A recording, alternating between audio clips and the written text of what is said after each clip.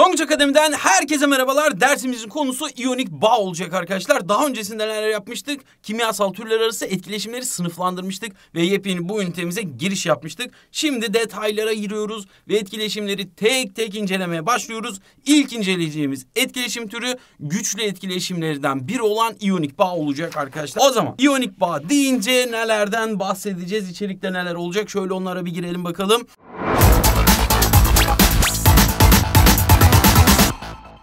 Lewis sembollerinden bahsederek başlayacağız arkadaşlar. Yani elementlerin, atomların bağ yaparken, bileşik oluştururken nasıl davrandıklarını ve nasıl davranacaklarını bize neler söyleyecek ona bakacağız. Burada atom numarası ve tabii ki periyodik sistemdeki yeri bizim için önemli olacak. İyonik bağın oluşum sürecinden bahsedeceğiz. Lewis sembollerini az önce öğrenmiştik ya. Burada da Lewis formüllerine gireceğiz arkadaşlar. Formül olarak bunu nasıl göstereceğiz?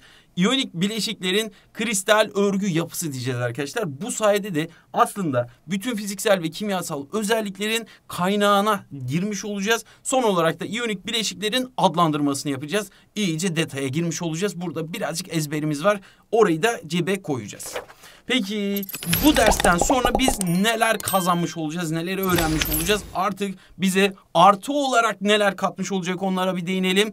Günlük hayatta sürekli karşılaştığımız tuz bileşiklerinin arkadaşlar aslında birer iyonik yapı olduklarını, iyonik bileşikler olduklarını ve bunların nasıl oluşturduklarını inceleyeceğiz. Hani tuz deyince aklımıza sadece sofra tuzu gelmesin. Bak bir sürü tuz türü var ve her biri aslında birer iyonik bileşik ve bunların oluşum süreçleri aslında bizim karşımızda olacak ve tuzların sahip olduğu bütün özellikler ve bunların bağ yapıları arasındaki ilişkiyi inceleyeceğiz. Yani iyonik bağ nasıl ki bu bileşikler böyle davranıyor? Neden katı haldeler, neden erime noktaları yüksek? İşte bunların cevaplarını aslında bu ders sayesinde öğrenmiş olacağız. Ve tabii ki dersi tamamladığımız zaman iş bizim için bitmiyor. Ödev kısmına gelmiş oluyoruz arkadaşlar. Bizim için de sonrasında bir sürü çalışma gerekiyor. Ne var peki sıfırdan 9'a kimya kitabı bizim temel kaynağımız zaten. Bak hepimiz buna sahibiz. Olmayanlar da bir an önce edinsinler ki ödev kaçırmasınlar arkadaşlar. İlk iki ünitemizi tamamlamış. Hatta üçüncü ünitenin de bir kısmını yapmıştık. Sayfa 108 ile 112 arası bu defa bizim ödevimiz olacak. Peki kaynağımızda bizi neler bekliyor iyonik bağ dair olarak arkadaşlar? Şöyle her sayfada bize her sol tarafta yani bize bir konu anlatım var. Aslında e, burada konunun özüne giriyor olacağız ve burada öğrendiklerimizi test etmemizi sağlayan da sorular yan tarafta bizi bekliyor olacak. Her sayfada konu anlatımı ardından da sorular bizi bekliyor olacak. Burayı tamamladıktan sonra yani bu e, soru ve konu anlatımlarını tamamladıktan sonra bir bölümü bitirmiş olacağız. Bölüm bittikten sonra da bölüm testleri bizi bekliyor olacak. Şimdi sıfırdan 9'a kimya kitabını bitirdik. Bayağı bir yol kat etmiş olduk ama işimiz bitmiyor. Karşımızda bir de Dinamo kimya kitabı olacak arkadaşlar. Burada da Tesla 4-7 arası yine bizim ödevimiz olacak. Peki bu kitapta bizi neler bekliyor? Ondan bahsedeyim. Gene tabii ki ilk, ilk iki üniteyi burada tamamlamıştık. Burada arkadaşlar e, her sayfada bize bir çözümlü örnek var. Çözümlü örnek aslında bu konuyla ilgili hem konu özelinde karşılaşabileceğimiz soru tipini gösterecek hem de tabii ki farklı soru tiplerine nasıl yaklaşmamız gerektiğini bize anlatacak çözdüğü örnekle alakalı dört tane soru da aşağıda bizim çözümümüzü bekleyecek. Her sayfada bu bu şekilde devam edecek. E, bu sayede de arkadaşlar iyice pekiştirmiş olacağız. Karşımıza çıkacak farklı soru tiplerini de görmüş olacağız. E, bunu da tamamladıktan sonra zaten bir sonraki dersimiz için artık kovalent ve metalik bağları öğrenmek için yine burada buluşma şansına sahip olacağız. O zaman haydi dalalım bakalım neler varmış içeriğimizde. İyonik bağ. Arkadaşlar burada e, iyonik bağ aslında ortaokuldan da öğrenmiştik. Şöyle bir ufaktan hatırlayabiliriz. Demiştik ki kimyasal türler arası etkileşimler ki bir önceki dersimizde de bunun üzerine dayandık. İkiye ayrılır. Güçlü ve zayıf etkileşimler olmak üzere. Güçlü etkileşimler üç alt başlığı ayrılıyordu. İyonik bağ, kovalent bağ ve metalik bağ olmak üzere. Ve diyorduk ki eğer bir bağ güçlü etkileşimse yani bu üçünden biri ise kimyasal bağ özelliği gösterir. Dolayısıyla iyonik bağ da yine kimyasal bağlardan biridir. Ve zayıf etkileşimlerimiz Van der Waals kuvvetleri ve hidrojen bağ olmak üzere ikiye ayrılıyordu. Biz şimdi buradayız. Bak bunu bu derste halledeceğiz. Ardından bir derste de şu ikisini halledeceğiz. Sonrasında bir derste de zayıf etkileşimleri tamamlayacağız ve aslında üniteyi de neredeyse kapatmış olacağız. Sadece bir bölümümüz kalmış olacak. O da fiziksel kimyasal değişimler olmak üzere. Şimdi Lewis sembolleriyle başlamamız gerekiyor arkadaşlar. Lewis sembollerini yazarken aslında bir atomun Lewis sembolünü yazdıysan onun nasıl bağ yapacağı, kaç tane bağ yapacağı, nasıl bir süreç geçireceği hepsini e, belirlemiş oluyorsun. Bak herhangi bir atom verildiği zaman sana bir sorunun içerisinde yapacağın şu olacak. Atom numarasını biliyorsun. Bak hidrojen atom numarası bir. Buradan katman elektron dizilimini yazabilirsin. Zaten bunu önceki derslerimizde öğrenmiştik. Sadece bir tane elektron var. Onu da ilk katmana yazıyoruz. Mesela lityumdan bahsediyorsak 2'ye 1 şeklinde olmalıydı. Yani 2, 8, 8, 2'ye kadar gidebiliyordu. Berilyumda 2'ye 2 şeklinde olmalıydı. Borda 2'ye 3, karbonda 2'ye 4 şeklinde katmanlar elektronlara dağılıyordu. Azotta 2'ye 5, oksijende 2'ye 6, florda 2'ye 7 ve neonda 2'ye 8 şeklindeydi. Helyumu en sona sakladık çünkü orada özel bir durum var. Onu özellikle belirtmemiz gerekecek. Sadece iki elektron olduğu için elektron dizilimi tek katmanda iki elektron şeklinde olmalıydı. Arkadaşlar bizim burada ihtiyaç duyacağımız temel bilgi bu atomların sahip oldukları değerlik elektron sayıları olacak ki zaten o da bize aslında grup numarasını da veriyordu. Neydi değerlik elektron sayısı bir hatırlayalım. Son katmanda yer alan toplam elektron sayısı bizim için değerlik elektron sayısını ifade ediyordu. Dolayısıyla hidrojen için değerlik elektron sayımız bir. Lityum için gene bir. Berilyum için iki. Bor için 3, karbona 4, azotun 5 olduğunu görüyoruz. Bak öncesindekiler umurumuzda değil. Son katmanda kaç elektron varsa bizim için önemli olan o olacak. Hepsini yazıyoruz. Helyum için de 2 olduğunu görüyoruz. Arkadaşlar Lewis sembolünü belirtirken e, şöyle yapıyoruz. Elementin sembolünü alıyoruz ve değerlik elektron sayısı kaçsa bu kadar yanına nokta koyuyoruz. Bak hidrojen için birmiş sadece bir tane nokta koyduk. Lityum için aynı şekilde birmiş sadece bir tane nokta koyduk. Berilyuma gelecek olursak Berilyumda iki tane elektronumuz var. Dolayısıyla iki tane nokta koymamız gerekiyor. Bak iki ve daha fazlası geldiği zaman şunu yapıyoruz.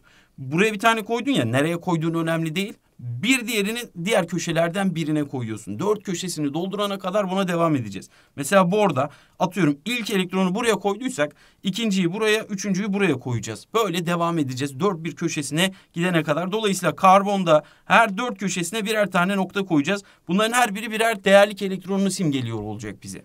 Eğer değerlik elektron sayısı dörtten fazlaysa biz sadece dört köşesine koyuyoruz. Demek ki artık e, köşeleri ikiler, ikişer elektronla doldurmamız gerekiyormuş. Yani azotun değerlik elektronlarını yazarken mesela buradan başladıysak bak birinci noktayı koyduk. ikinci, üçüncü, dördüncü noktayı koyduk. Beşinci nokta başladığımız yeri iki elektrona tamamlayarak devam edeceğiz. Oksijenden bahsediyorsak mesela buradan başladık. Bir, iki, üç, dört noktayı koyduk. Bak beşinci buraya, altıncı buraya gelecek. Yani e, bundan sonra koyduklarımızda çiftleyerek devam edeceğiz. Flordan bahsediyorsak aynı şekilde bir, iki, üç, dört, beş, altı, yedi tane noktayı koyacağız. Yani iki, üç tane çift, bir tane tek elektron kalacak. Neondan bahsediyorsak 1, 2, 3, 4, 5, 6, 7, 8 tane noktayı koyacağız ve her dört köşesindeki e, elektronların tamamının çiftlenmiş halde olduğunu göreceğiz. Helyumu neden sona sakladık? Arkadaşlar bak bunlar için diyeceğiz ki e, de, bağ kapasitesini bize buradaki yalnız kalan elektron sayısı söyler. Yani şuraya bağ kapasitesi diye bir bilgi düşecek olursak yani bileşiğin içerisinde e, kapasitesi kaç tane bağ yapabileceğini bize bu bilgi söyleyecekse bir tane yalnız elektron var. Dolayısıyla bağ kapasitesi birdir. Lityum aynı şekilde birdir. Berilyumun bağ kapasitesi ikidir arkadaşlar. Borda üç, karbonda dört. Bak azota geldiğimiz zaman bağ kapasitesinin yeniden üç olduğunu söyleyeceğiz. Neden? Bunlar çiftlenmiş elektronlar. Elektron eğer iki tane ise çiftlenmişse bu bağ yapısına katılmayacak demektir. Dolayısıyla yalnız olan şu üç tane elektron bağ yapısına girer. Oksijende bak iki tane çift elektron var. Bunların bağ yapısında işi yok. Dolayısıyla şuradaki yalnız elektronlar vardı ya iki tane. İşte onlar bağ yapısına katılacak. Florda sadece bir tane yalnız elektron kalmış. Demek ki florun bağ kapasitesi birmiş.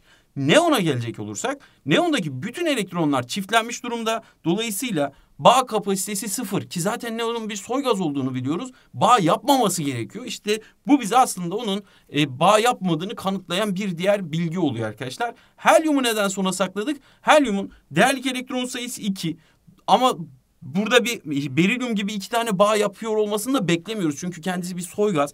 Dolayısıyla helyumun bağ kapasitesinin sıfır olduğunu bildiğimiz için bak onun Le Lewis sembolünü nasıl yazacağız? İki tane elektronu ayrı ayrı yerlere yazmayacağız. Hemen şöyle yan yana yazacağız. Çift olduğunu göstereceğiz ki bunun bağ yapısına girmediğini yani herhangi bir şekilde bileşik oluşturmadığını kanıtlamış göstermiş olalım arkadaşlar. Bu Lewis sembollerinin e, gösterim şekilleri olacak.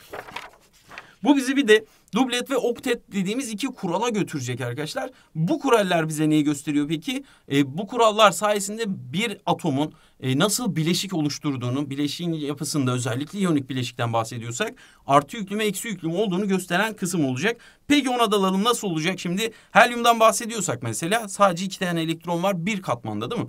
Eğer bir atom bağ oluştururken yani elektron alıp verirken hangisi olduğu fark etmiyor. Helyuma benzer bir özellik gösteriyorsa o dublet kuralına uymuştur demek olacak. Mesela hidrojenin e, sadece bir tane elektronu var ya. Bak hidrojen helyuma benzediği zaman yani tek katmanda iki elektron olduğu zaman bunu sağlamak için dışarıdan bir elektron almak zorunda. Dolayısıyla eksi bir yüklü hale gelecek. İşte hidrojen eğer eksi bir yüklü olursa tıpkı helyuma benzeyecek dolayısıyla dublet kuralına uyacak.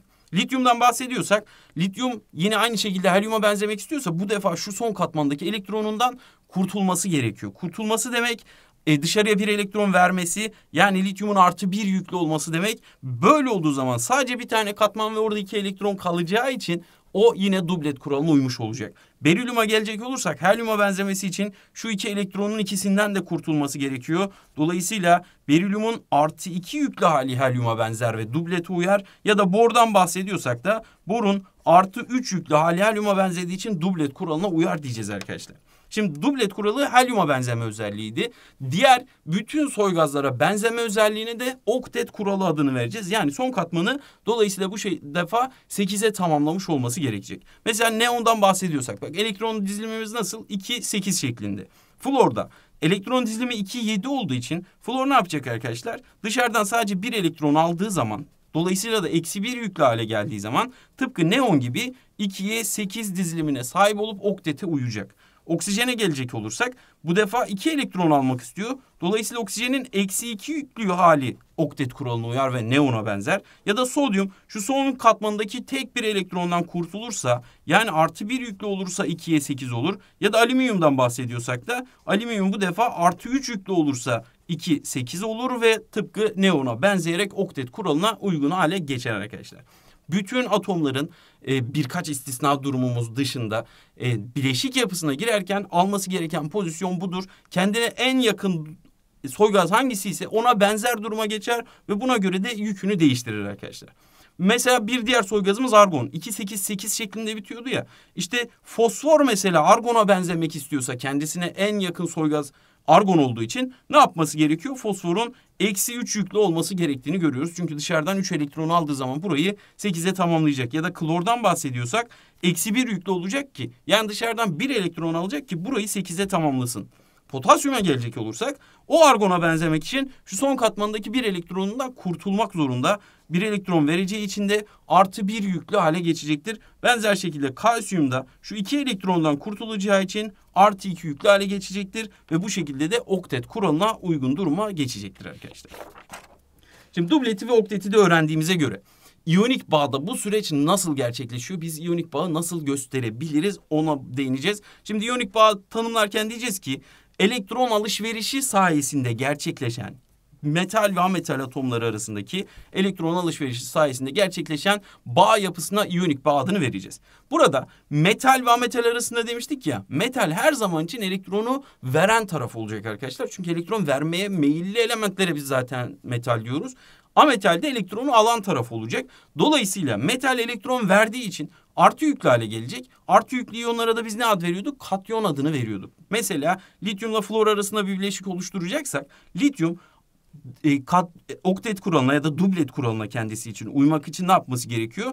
İkiye bir şeklinde olduğu için bir elektronunu verecek ve artı bir yüklü hale geçecek arkadaşlar. Flor ne yapacak peki? Flor da oktet kuralına uymak için dışarıdan bir elektron alacak ve flor eksi bir yüklü hale geçecek. Şimdi bu durumda ne oldu? Bak lityum bir elektronunu flora verdi. Kendisi hiç elektronu kalmadı artı bir yüklü oldu. Flor ise toplamda dış 7 tane elektronu vardı e, değerlik elektronu olarak. Dışarıdan gelen bu bir elektronla birlikte 8'e tamamladı. Oktet kuralına uydu ve bir elektron aldığı için de eksi bir yüklü hale geldi. İşte bu gösterime de biz Lewis formülü adını vereceğiz. Yani ne yapıyormuşuz? Metal kaç tane elektron verdiyse bunu artı olarak üstünde belirtiyoruz.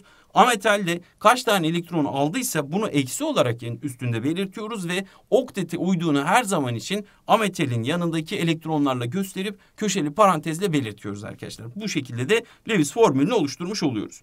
İyonik bağın bu özelliğinden ötürü asıl hani en sistematik tanımı şu olacak. Zıt yüklü iyonlar arasında oluşan elektrostatik çekim kuvvetleridir diyeceğiz iyonik bağı tanımlarken. Zıt yüklü iyonlardan kastımız nedir? Metaller katyonları oluşturacak, ametaller anyonları oluşturacak. E, artı ve eksi yükler de birbirini çekecek. İşte oluşan bu çekim kuvveti elektrostatik bir çekim kuvvetidir ve iyonik bağ olarak adlandırılır. Bu sayede de tuz yapısı oluşur. Birkaç tane örnek yapalım o zaman bununla ilgili. Mesela bize dese ki berilyum ve oksijen arasında bir tane bileşik oluşturacak olursak. Bu bileşiğin Lewis formülü nasıl olur? Arkadaşlar hemen şunu yapıyoruz. Berilyum bak atom numarası 4. Dolayısıyla 2'ye 2 şeklinde elektronlar katmanlara dizilecek. Oksijen 8 dolayısıyla 2'ye 6 şeklinde elektronlar katmanlara dizilecek. Şimdi şunu yapıyoruz. Berilyumun değerlik elektron sayısı 2 ise bunun Lewis sembolü nasıldı? 2 tane nokta koyuyorduk sadece. Oksijenin değerlik elektron sayısı 6 olduğuna göre 6 tane nokta koyuyorduk. Bu 6 noktayı koyarken 2 tanesinin çift, 2 tanesinin tek olması gerektiğini biliyorduk. Şimdi burada ne olması gerekiyor? Berilyum dublete uygun hale gelmek için ne yapar? İki tane elektron verir arkadaşlar. Yani şu iki elektronun her ikisini de verecek. Oksijen ne yapacak peki oktete uygun hale gelebilmek için? Yani şu yalnız elektronlarını çiftlemek için dışarıdan iki elektron alacak. Demek ki berilyum bu iki elektronunu götürüp oksijene verip bunların çiftlenmesini sağlıyormuş. Bu durumda ne oldu şimdi Lewis yapısına gelecek olursak? Berilyum artı iki yüklü hale geldi iki elektronunu da verdi. Oksijen ne yaptı peki? Oksijen dışarıdan aldığı iki elektron sayesinde oktetini tamamladı. Ne yapıyorduk? Ametal her zaman için şöyle köşeli paranteze alıyorduk. Ve iki tane elektron aldığı için de yükü eksi iki oluyordu. İşte bu e, berilyum oksit bileşiği için bizim Lewis formülümüzdür. Mesela sodyum ve kükürt arasındaki bileşikten bahsedecek olursak bak nasıldı bu? 2, 8, 1 şeklinde. Kükürt içinde 2, 8, 6 şeklinde. Şimdi ne biliyoruz biz? Sodyumun değerlik elektron sayısı 1. Dolayısıyla sadece bir tane nokta koymamız yeterli. Kükürtten bahsedecek olursak değerlik elektron sayısı 6 olduğuna göre 6 tane noktayı koyacağız. Şimdi bağ kapasitesinden de ilerleyebiliriz. Sodyum sadece bir tane elektron vermek istiyor ama kükürt iki tane elektron almak istiyor. Böyle bir durumda arkadaşlar yapacağımız şu olacak. Sodyum bir tane elektronunu verdi kükürde. Bak sodyum kendi halinden memnun. Onunla ilgili bir problem yok artık. Ama kükürt hala daha dışarıdan bir elektron almak istiyor. Bak böyle bir durumda diyeceğiz ki burada bir tane daha sodyuma ihtiyacımız varmış bizim bu sodyum da getirip elektronunu kükürde verecek ki her ikisi de halinden memnun olsun. Dolayısıyla Lewis yapısına geldiğimiz zaman da şunu söylüyoruz. Bizim elimizde toplamda iki tane sodyum vardı ve her biri birer tane elektron verdiği için artı bir yüklü hale geldi. Elimizde bir tane kükürt var. Kükürt dışarıdan toplam iki elektron aldığı için artık oktetini tamamladı. Dolayısıyla parantezi kapatabiliriz. Ve kaç tane elektron aldı dedik? İki tane elektron aldı. Bu da onun eksi iki yüklü olmasına sebep oldu. Dolayısıyla da bileşiğimizin Lewis formülü bu şekilde karşımıza çıktı arkadaşlar. Şimdi gelelim biraz daha karmaşık bir duruma. Magnezyum ve azottan bahsediyorsak. Bak 2, 8, 2 şeklinde azota gelecek olursak 2'ye 5 şeklinde. Şimdi neyi biliyoruz biz? Magnezyum var. Değerlik elektron sayısı iki tane noktayı koyduk bu şekilde. Azotun değerlik elektron sayısı beş. Dolayısıyla beş tane noktayı şöyle koyalım mesela. Şimdi magnezyum iki elektron almak istiyor. Azot üç elektron pardon magnezyum iki elektron vermek istiyor. Azot üç elektron almak istiyor arkadaşlar. Böyle bir durum karşımıza çıktıysa eğer yapacağımız şu olacak. Hani burada iki tane sodyuma ihtiyaç duyduk ki kükürdün ihtiyaç duyduğu iki elektronu birden e, ortama sağlayabilirim.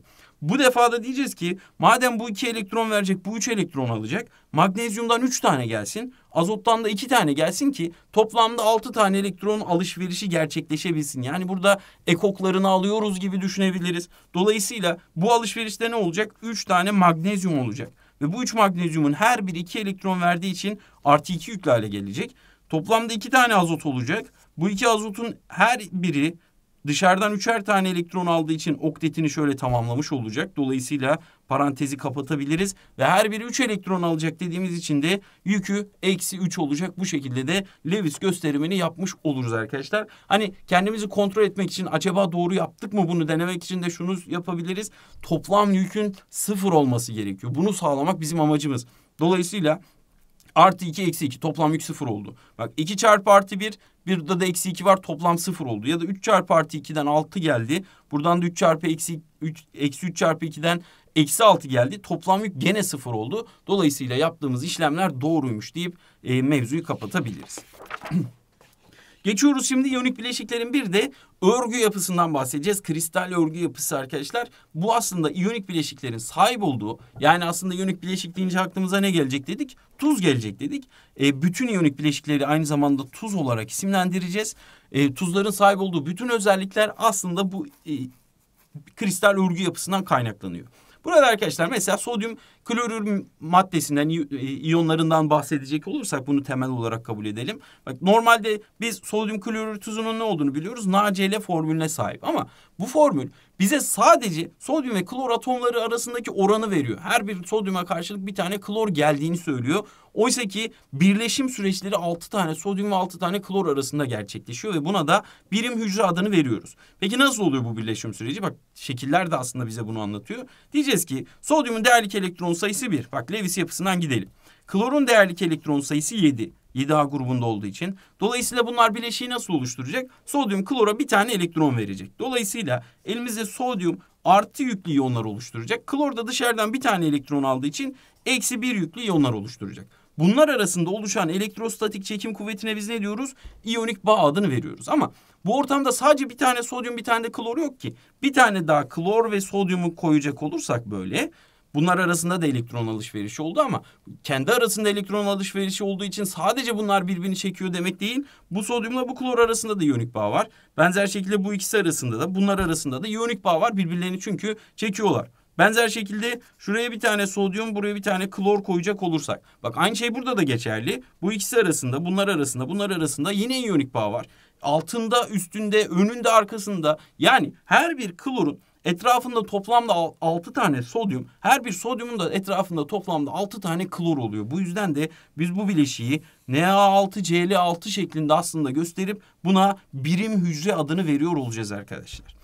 Şekillerde de bunu anlarız biraz daha. Şekiller ne diyor bize? Bak şuradaki her bir yeşil klor, her bir mor da sodyumu simgeliyorsa eğer her bir sodyum için etrafta bak önünde, arkasında, sağında, solunda, altında, üstünde toplam altı tane e, klor var. Her bir klor için de aynı şekilde önünde, arkasında, sağında, solunda ve üstünde, altında olmak üzere altı tane e, sodyum var. Dolayısıyla da bunlar arasında e, güçlü bir bağ yapısı oluşmuş oluyor. Hepsi birbirini çektiği için. İşte bunu bir bütün olarak ele aldığımız zaman da oluşan yapıya kristal örgü yapısı adını vereceğiz. Hani tuzlardan bahsediyoruz dedik ya her bir tuz taneciğini düşünün. Orada milyonlarca bu şekilde oluşmuş e, yapı var, kristal örgü var. Her birinde e, bu kadar atom var. Peki bu iyonik bileşiklerin hangi özelliklere sahip olmasını sağlıyor? Arkadaşlar biliyoruz ki tuzlar yüksek erime ve kaynama noktasına sahip. Oda koşullarında tamamı katı halde. İşte bunun sebebi kristal örgü yapısına sahip olması. E, bunlar birbirine çok güçlü tutunan tanecikler olduğu için e, sıvı hale geçmesi ve gaz hale geçmesi tabii ki çok zor oluyor.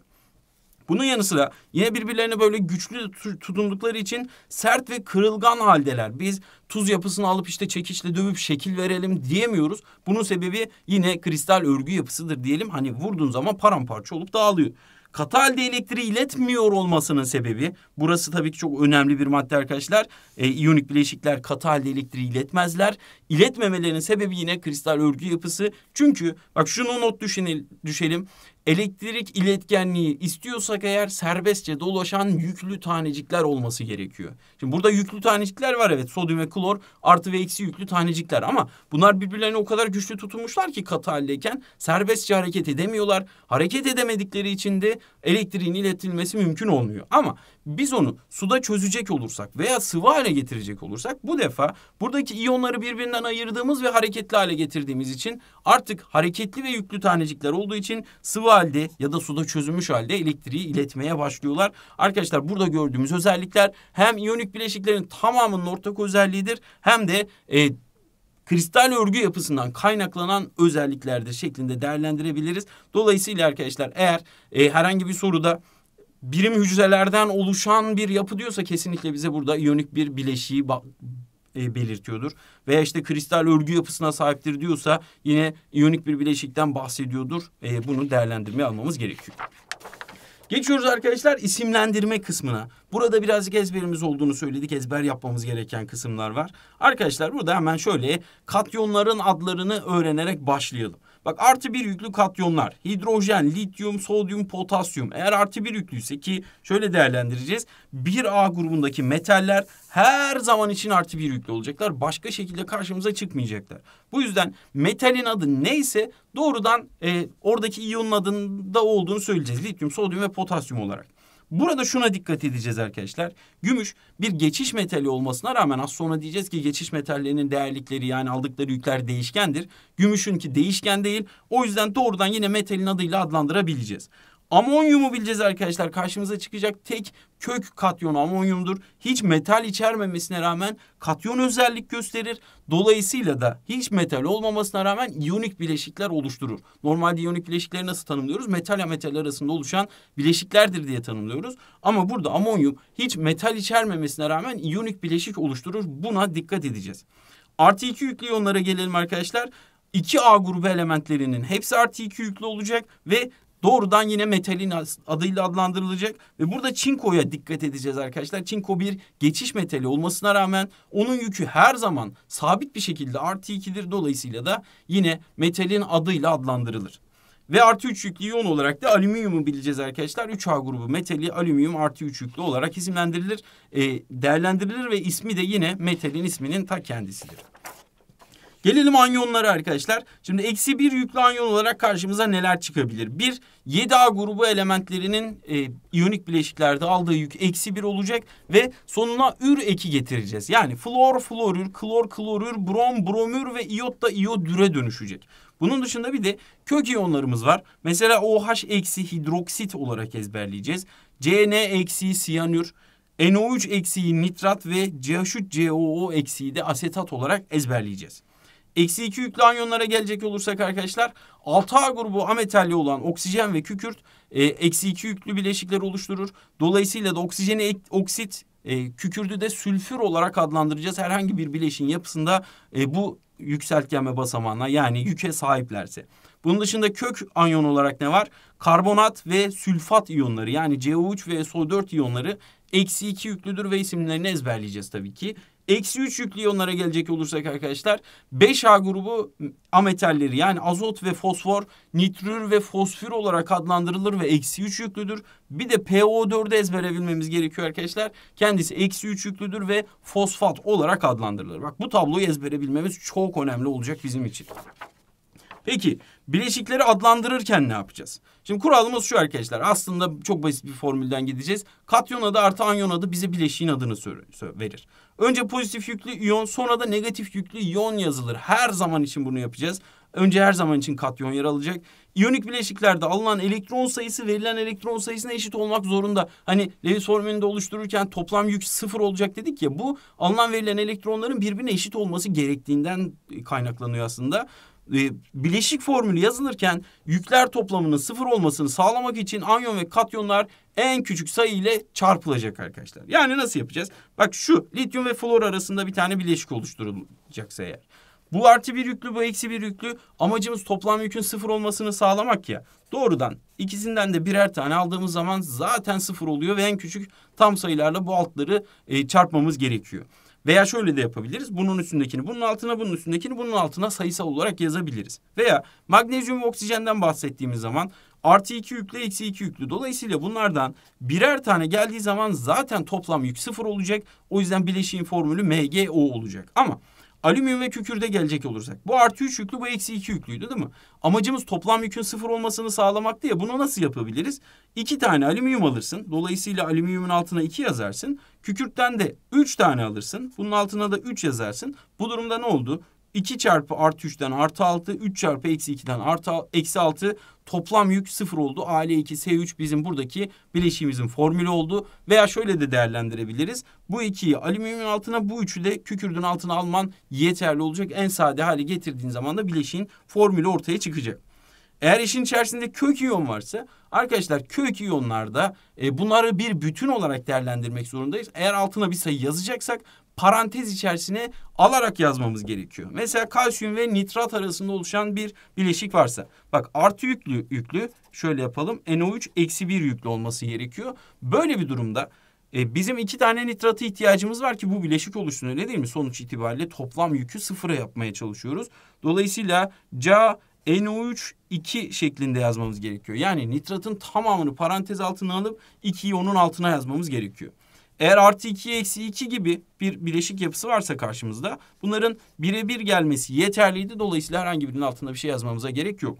Veya gümüş ve fosfattan oluşan bir yapıdan bahsediyorsak bak yük artı 1, yük eksi 3. Burada nasıl sıfırı sağlarız? Demek ki 3 tane gümüş bir tane fosfat gelecek ki toplam yük sıfır olabilsin. Bileşiğin formülünü de bu şekilde değerlendirebiliriz. Peki bunların adları nedir? Arkadaşlar sayılar bizim için hiç önemli olmayacak bu durumda. Diyeceğiz ki katyonun adı artı anyonun adı bize bileşiğin adını verir. Burada katyon ve anyon nedir? Lityum katyonumuz, florür ise anyonumuzun adıydı. Dolayısıyla da bileşiğin adı lityum florür oldu. Burada e, katyonumuzun adı magnezyum.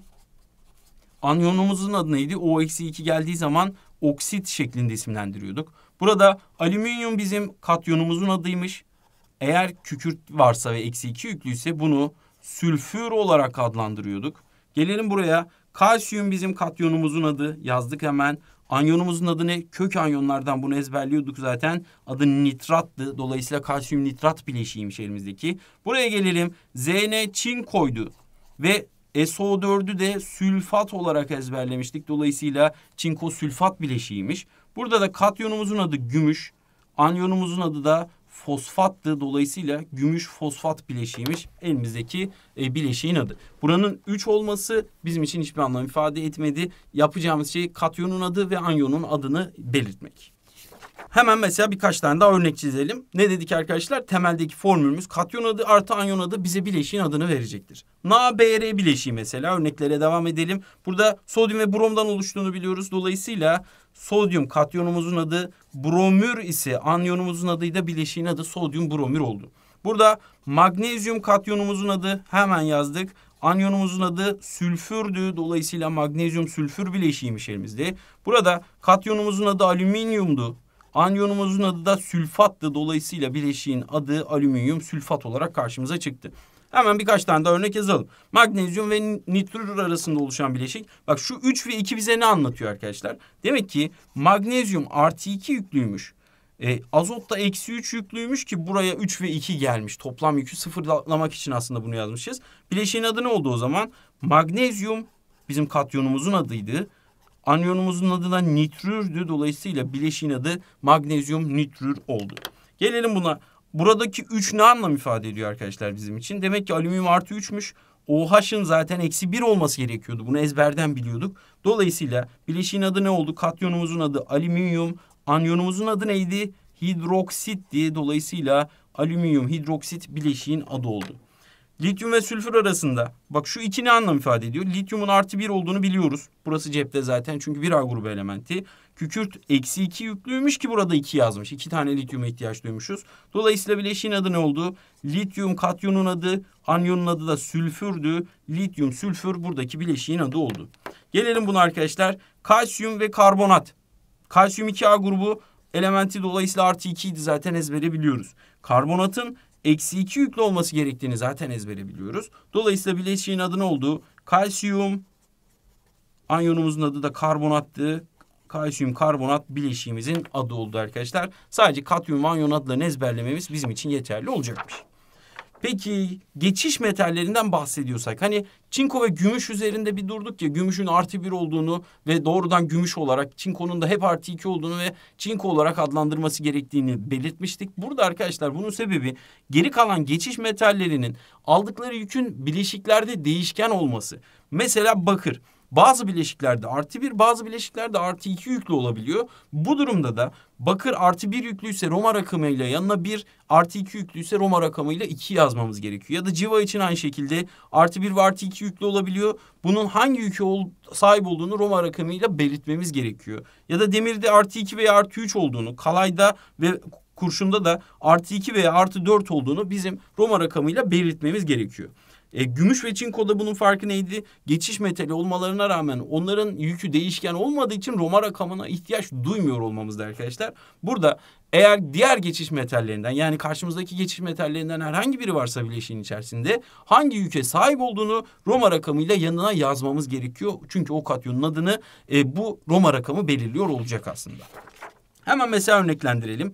Bak CuCl ve CuCl2 şeklinde iki tane farklı bileşik oluşabilir. Çünkü bakırın yükü sabit değildi arkadaşlar. Değişkendi. Artı bir ya da artı iki olabiliyordu. Eğer bize bileşiği CuCl şeklinde verdiyse bu ne anlam ifade ediyor? Klor eksi bir yüklü olduğu için ve toplam yük sıfır olacağı için bakırın artı bir yüklü olduğu anlamına geliyor. O zaman buradaki bileşiğin adı bakır bir klorürmüş arkadaşlar. Diğer tarafa gelecek olursak CuCl2 olmasının sebebi bakırın artı 2 yüklü olmasıymış. Klor her zaman eksi 1 olarak karşımıza çıkacak zaten. O zaman bu bileşiği adlandırırken de katyonumuz artık bakır 1 değil bakır 2 anyonumuz zaten sabit klorürdür. Dolayısıyla bileşiğin adı bakır 2 klorürdür dememiz gerekiyor. Örneklerde o zaman daha da netleştirelim bunu. Bak FeNO3 eğer bizim karşımızda buradaki gibi geçiş metali varsa Tavsiyem şu en kolay yolu şu olacak arkadaşlar. Anyonu bir yazın bakalım. Anyonun yükü nedir? Bak anyon eksi bir yüklü değil mi burada? Nitrat ezbere biliyorduk. Az önce öğrendik ve ezberleyeceğiz zaten. Nitratın yükü eksi birse burada toplam yükün sıfır olabilmesi için bak şurada iki yazıyor. Bu ne anlama geliyor? Eksi iki yük toplamda anyonda varmış. Demek ki demir artı iki yüklüymüş arkadaşlar. Bunu belirledik. Dolayısıyla adlandırmaya giderken bunu demir iki anyonumuz, katyonumuzun adı olacak. Anyonumuzun adı da nitrattı zaten. Demir 2 nitrat bileşiği olarak adlandırmamız gerekecek.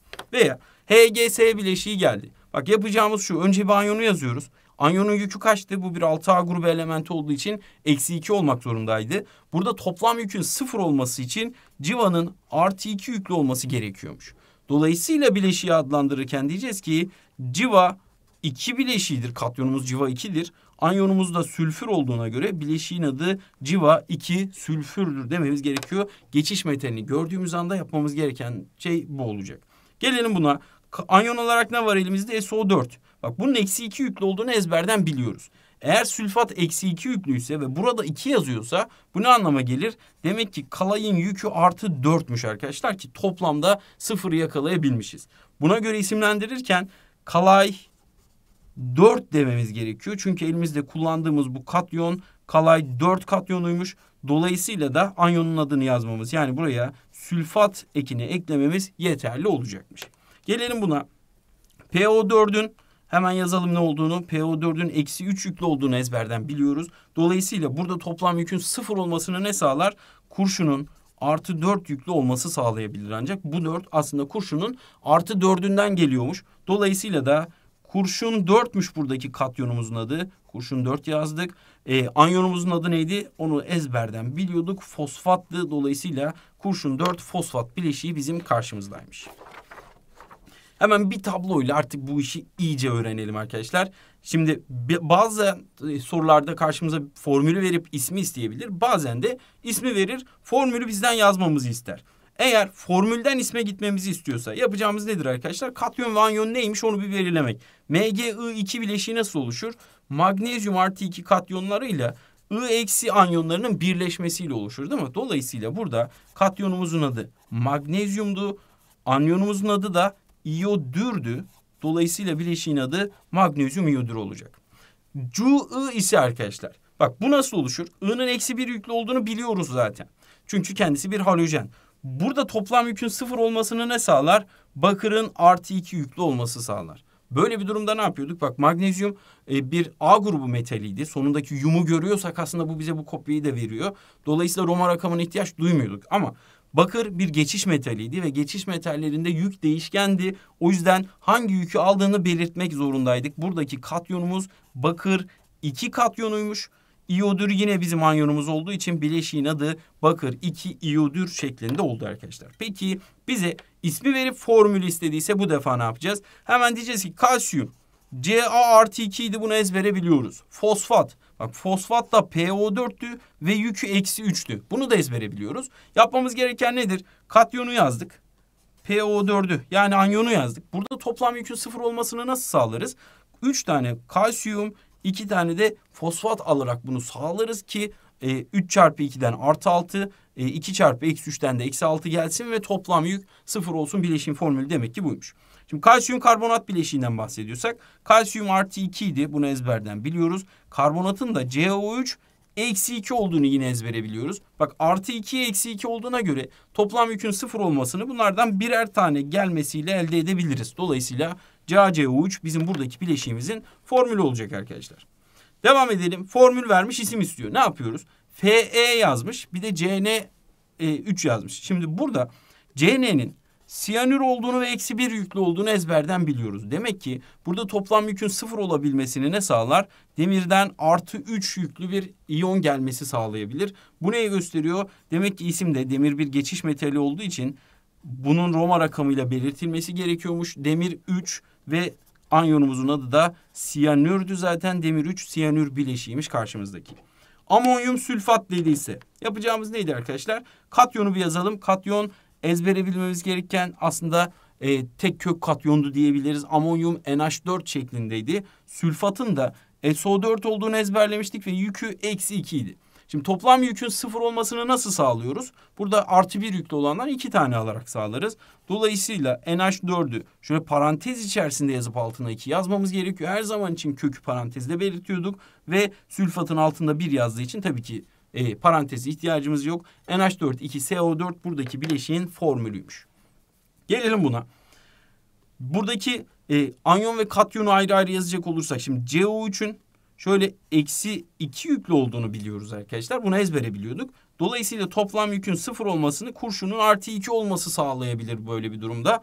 Kurşun bir geçiş metali olduğu için ne yapıyorduk? Roma rakamıyla hangi yükü aldığını belirtiyorduk. Demek ki kurşun 2'ymiş. Anyonumuzun adı da zaten karbonattı. Kurşun 2 karbonat buradaki bileşiğin adıymış. Geliyoruz arkadaşlar kalay 4 hidroksit. Bak kalay 4 dediğine göre SN'nin artı 4 olduğunu soru zaten kafadan bize söylemiş. Hidroksitte neydi peki? OH eksi bir yüklüydü. Bunu da ezberden biliyoruz. Dolayısıyla bu ikisi arasında e, toplam yükün sıfır olmasını sağlayacak bileşik nasıl olur? SN ve OH'dan dört tane alırsak bunu sağlarız. Demek ki SnOH4 bu bileşiğin formülüymüş arkadaşlar. Şimdi gelelim neler öğrendik bakalım. Lewis sembollerini öğrenerek başladık arkadaşlar. Ardından iyonik bağın oluşumunu ve e, Lewis formüllerini nasıl yazdığımızı gözden geçirdik. Kristal örgü yapısının e, iyonik bileşiklerin bütün fiziksel ve kimyasal özelliklerinin temel sebebi olduğunu belirttik ve iyonik bileşikleri adlandırdık. Arkadaşlar adlandırma kısmında katyon ve anyon isimlerini ezberlediğimizden emin olalım. Yükleriyle birlikte ezberlediğimizden emin olalım ve geçiş metali karşımıza geldiği zaman e, gümüş ve çinko hariç hepsinde Roma rakamı kullanmamız gerektiğini asla unutmayalım. O zaman ödüllü sorumuzu cevaplandırıp yorumlarda paylaşmayı ihmal etmeyelim. Videoyu tabii ki beğenelim ve kanala hala abone değilsek bir an önce abone olalım. Sonra da bir sonraki dersimiz için tekrar tam da burada buluşalım. Hepinize sağlıklı günler diliyorum.